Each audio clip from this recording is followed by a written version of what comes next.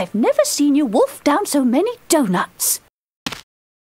Well, not eating certainly not going to solve your problem. I ate. I'll say you were a total piglet at the restaurant, and then you went and bought those donuts.